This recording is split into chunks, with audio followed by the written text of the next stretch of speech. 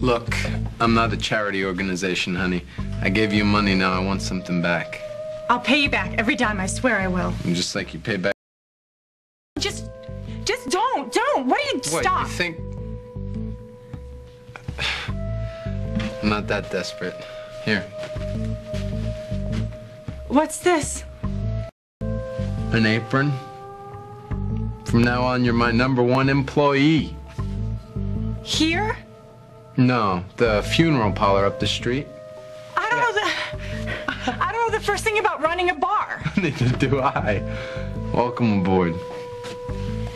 Oh, okay. Well, when you're ready, there's some shot glasses in the sink that need to be cleaned. And when you're done with that, you can vacuum the floor.